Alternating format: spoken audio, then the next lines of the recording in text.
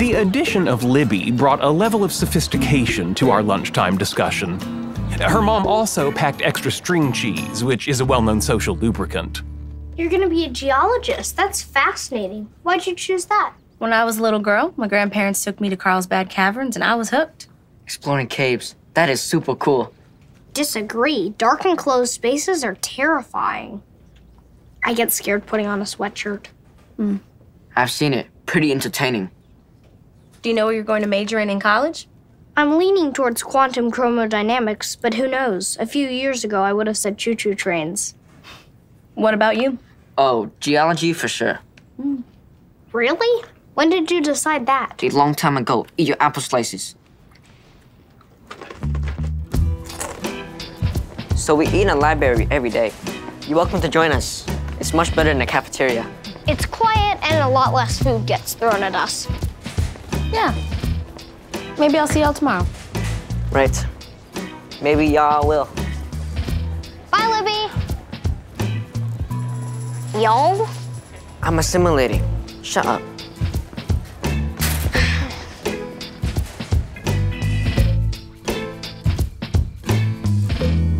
So, how was school today? Sheldon's got a girlfriend. What? That's not true. Oh, yes, it is. I seen him talking to her at school. Sheldon Lee Cooper, you dog.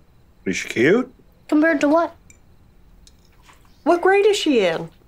11th. An older woman. Nice.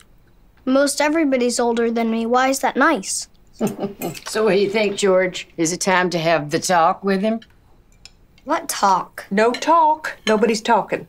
If the talk is in regards to human reproduction, I already understand how that works. How do you know that? I told him. Oh, Lord.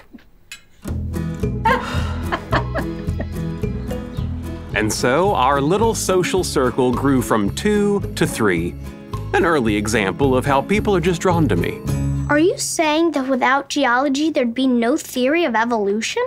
Charles Lyell taught Charles Darwin the Earth was much, much older than anyone thought, which gave Darwin the courage to figure out all species evolved over billions of years. That's good. I can use that to humiliate my pastor at Sunday school. I don't know what's more beautiful, your mind or your eyes. Tam, please, we're eating.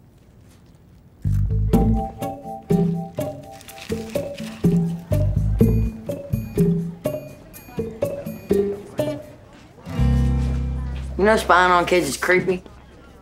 I wasn't spying on kids, I was spying on your brother. Why won't you just go inside?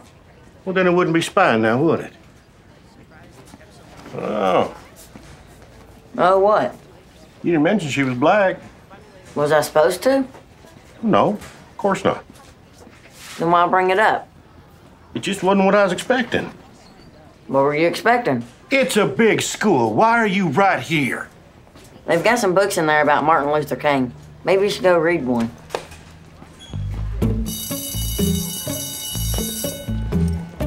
Morning.